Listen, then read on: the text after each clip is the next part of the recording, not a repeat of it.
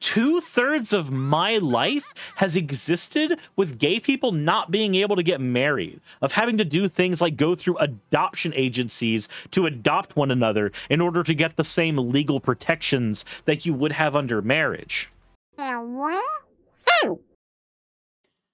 Alrighty.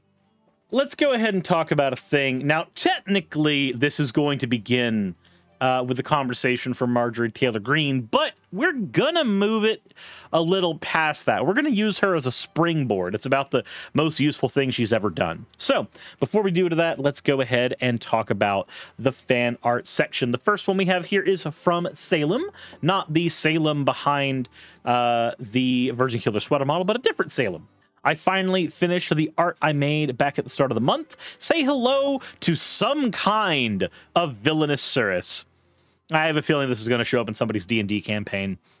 I'm like 90% certain. The next one we have is from Ashy. I finally got around to finishing this, is the subtext there. And you know what? The energy. Also, just the, the dark eyes make me feel like this is almost a mannequin. Uh, the skin color helps with that as well. Uh, nightmare fuel for people who want to to use that, if they desperately want to. Definitely looks good though. The last one we have here is from, as soon as I can get it to work, bah, bah, bah, this one is from the Mini Ace. It is a 3D NekoSuris blepping. How cool would it be if someone uh, made RPG Maker sprites of Suris? Well, I guess we'd find out. You've probably spoken into existence at that point. With that said, everybody, thank you all for your fan art submissions. As always, if you want your fan art to be shown in a future episode, the best way to do so is to drop it into the fan art section of the Discord. With that said, so Marjorie Taylor Greene had a take about people's sexualities. I want to uh, I want to go ahead and showcase that as the springboard for a discussion. So let's begin that. Should be what they do sexually. That's not our identities, and that should never be taught that way. So, uh, uh, according to Marjorie Taylor Greene, our, our sexuality, so the the people who we fuck basically should never be uh, our identities, should never be a prominent part of our identities. Cool. Then I sincerely hope that you never address yourself ever as either a mother or a wife, because those should never be parts of your identity. I mean, let me get this straight. Your children are born only because you fucked. That that should not be a part of your identity then, by your logic. Uh, and your husband, well, you fuck him too, I imagine. Poor guy. So yeah, okay. Wife and uh, wife and mother, completely useless identifiers. They have to do with fucking. Anyway, let's go ahead and continue. It's not about judging someone for what they do. Yes, it is. It's not about judging them for their choices. Yes, it is. It's not about judging them for how they dress. Yes, it is. It's about removing those identity politics out and judging people on their character. Hey, she did the thing where you do the, the kind of Martin Luther King quote.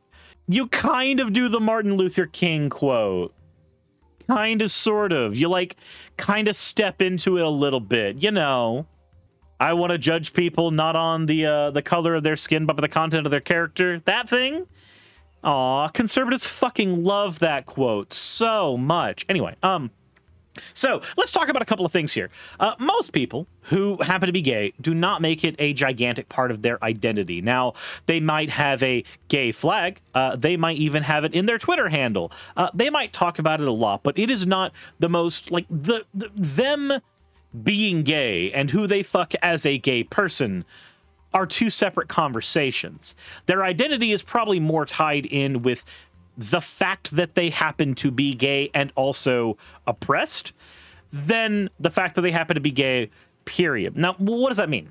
Well let's take a quick let, let's let's let's let's have a conversation real quick about the past. Uh, let's keep this focused to the united states our pride parades began uh, because of what uh, chat do you want to uh, do, you, do you want to go ahead and, and and let me know go ahead good i i'm sure most people I'm sure most people know uh, what actually began our modern pride parades. But if, if you don't, we'll get to it. But I want to see if somebody in chat gets it because ah, Asina Salin got it. Evening war, uh, evening warmth got it. Stone Stonewall. The Stonewall riots.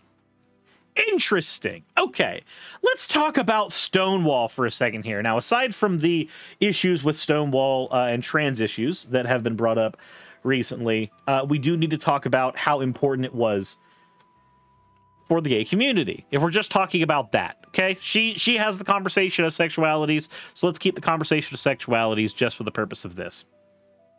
Okay?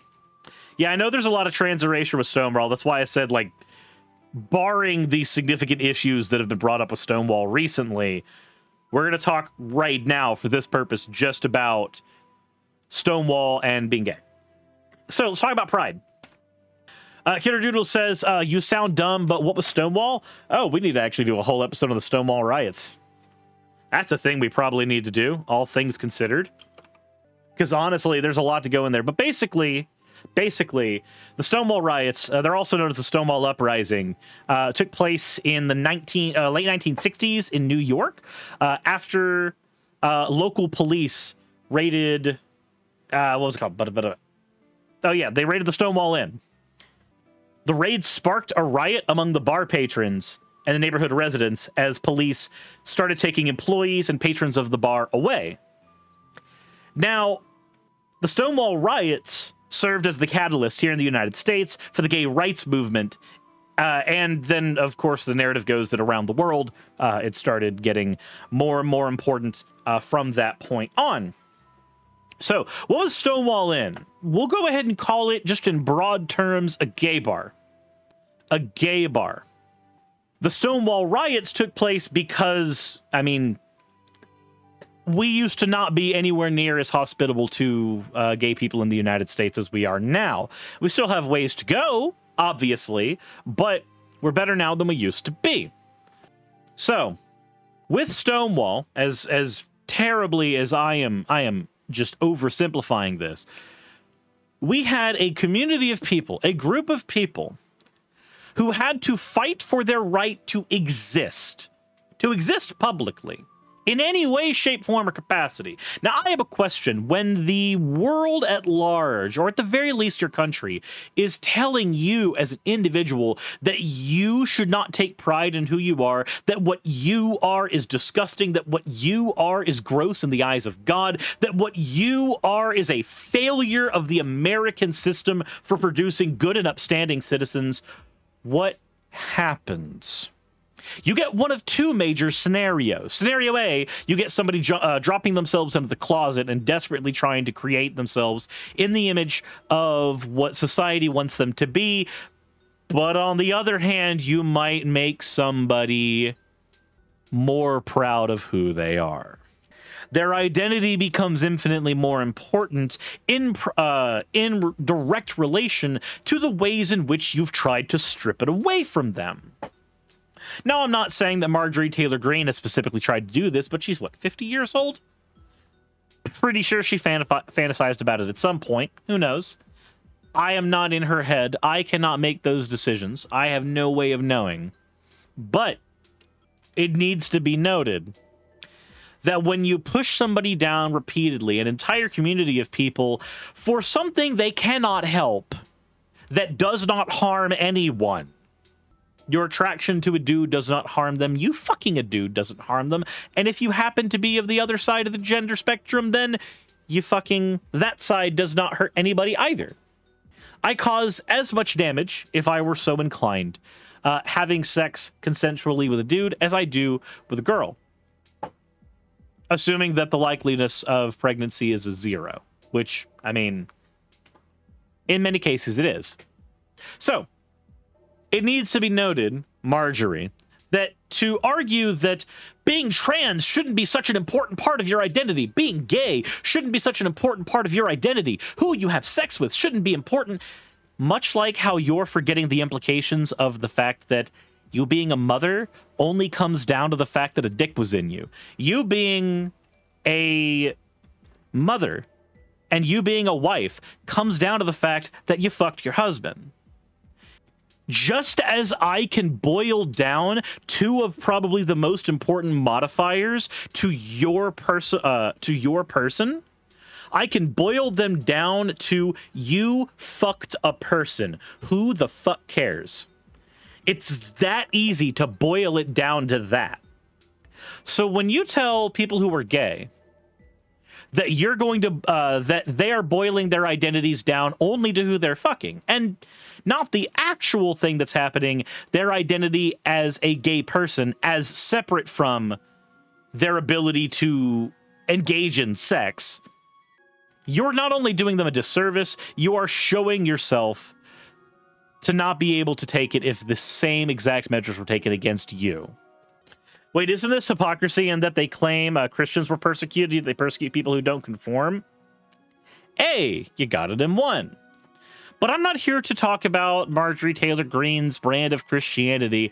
I'm not here to talk about any of that. I'm here to talk about the fact that if you don't want people to take pride in a thing, then maybe you should check the history of how often they were told not to take pride in that thing at all.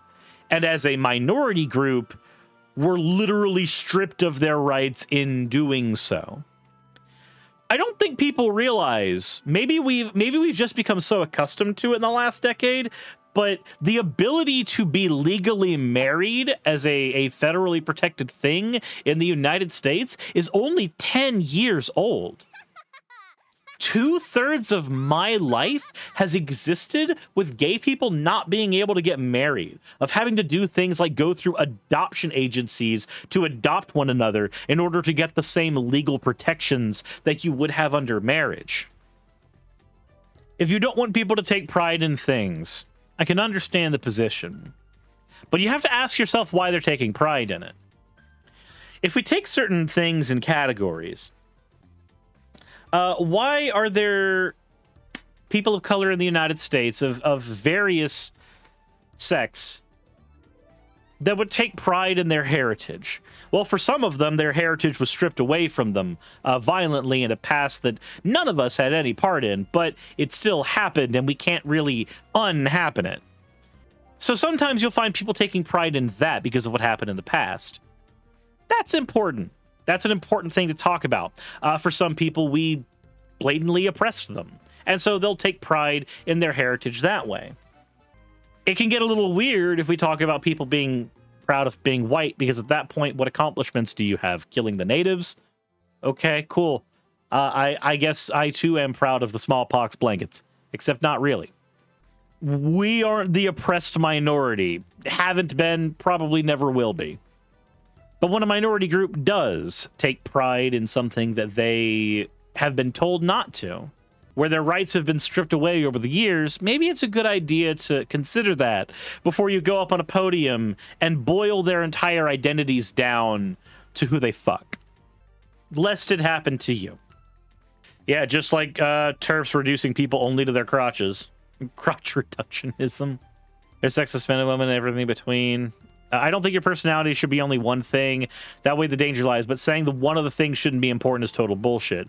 Well, true. But again, I I know nobody who is gay where that is the only aspect of their personality that matters. I know people that very willingly lean super hard into gay Hollywood stereotypes. And yet there's a shit ton of other aspects of their personality than just that, nor would they boil themselves down an identity that way. So it always gets really weird to me when people like Marjorie do that.